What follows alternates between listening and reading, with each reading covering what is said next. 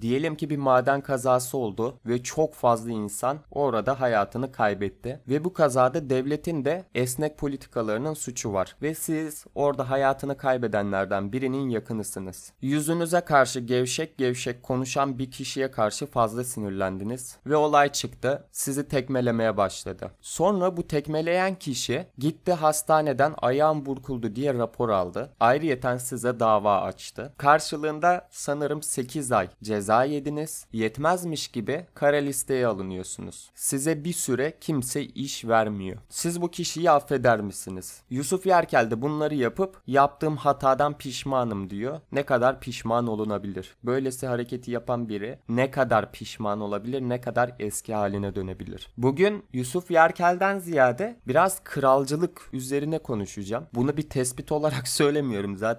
Bir doğru bu. Kraldan çok kralcılar tehlikelidir. Kralcı kralının gözüne girmek için yapabileceği her şeyi yapar. Bu sadece siyasette de değildir. Patronun gözüne girmeye çalışan da böyledir. O yalakalar. Seyircisinin gözüne girmek isteyen şovmen de böyledir. Hayatımızın her yerinde bu tarz kralcılarla karşılaşabiliriz. Ve toplumun azımsanmayacak bir kısmı da kralcı zaten. Burada sağ parti sol parti değil bu. Her partinin, her topluluğun kendi kralcıları var. Kendi pislik insanları var. Bu kişilerde benim gördüğüm vasıfsız hırslılık çok yüksek. Kişinin çok fazla vasfı yok ama çok fazla da gelişmek istiyor. Çok fazla da büyümek istiyor. Bu tarz hareketlere başvurabiliyor çoğunlukla ve kendi ahlak anlayışlarında o yol içinde yapabilecekleri her şey mübahtır kafasıyla gidiyorlar. Mübahtır deyince de dini olarak varsaymayın bunu. Her türlü pisliği görebilirsiniz bu insanlardan. Mesela Nazi dönemini ele alalım. Hitler'in yanındaki insanlar Hitler'den kat kat kat daha tehlikeli insanlardı. Hitler'in gözüne girmeleri önemliydi onlar için ve her türlü pisliği çok rahatça bir şekilde elleri titremeden, pişman olmadan yaparlardı. Mussolini dönemi de öyleydi.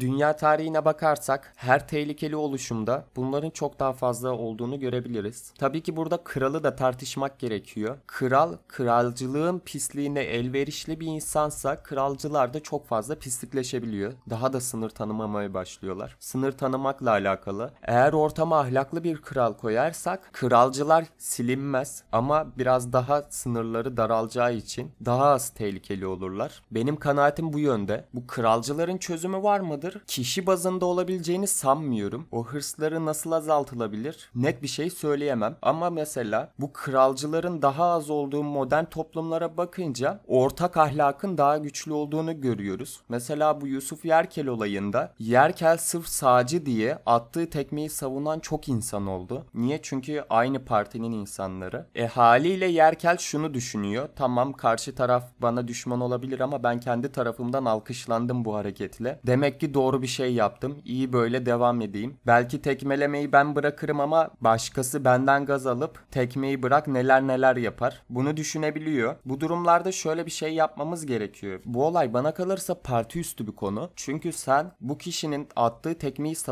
savunursan olur da devran değişirse sana da çok tekme gelir. Ve o kişi attığı tekmeyle gurur duyabilir. Seni savunan insan sayısı da kısıtlı olur. Bu konularda toplum olarak bence bunu düşünmeliyiz. Tekmeyi bize mi atmışlar, onları mı atmışlar düşünmememiz gerekiyor. Çünkü o tekmeler her seferinde ülkeye atılmış oluyor. Karşılıklı nefretimizi daha da tetiklemiş oluyor. Gelişmiş ülkelerde bu tarz olaylarda toplumun her kesiminden ağır bir linç işleniyor yapan kişiye. Ayrıyeten kişi makam mevki sahibi ise o koltuğa elveda oluyor. Eğer kişi marka sahibi ise o marka hisseleri birden çok fazla değer kaybediyor. Dediğim gibi bizde de buna benzer hareketler uygulanması gerekiyor. Bir de Yerkel'i savunan birkaç tane muhalif gazeteci gördüm. Ana akım muhalif gazetecilerden bazıları. İşte yapmıştır bir hata özrü kabul etmek gerekir diye. Şimdi hata başkadır, suç başkadır. Yerkel bu yaptığı şeyden dolayı birincisi ceza almadı. Twitter'dan özür dilerim demekle üzerinden yıllar geçtikten sonra bir şey değişmez. Sonrasında bir de yetmezmiş gibi basına sahte bir haber veriyor. Biz gittik ona ulaştık, özrümüzü diledik, kabul etti gibi. Sen gazeteci olabilirsin ama toplumun sözcüsü değilsin. Toplum orada kesmiş bu kişinin zaten biletini. O kişi asla affedilmez üzerinden yıllar geçse bile. Çünkü olay basittir. Suçunun cezasını çekmedi ve yaptığı şey basit bir suç değil, yüz kızartıcı bir suç. Sonuçta tekrardan üstünü çiziyorum. Bir kişiye tekme atıyorsun. Sonra Sonra yüzsüz gibi gidiyorsun ayağın burkuldu diye rapor alıyorsun. Sonra yetmiyor kişiye dava açıyorsun. Yetmiyor kara listeye aldırıyorsun.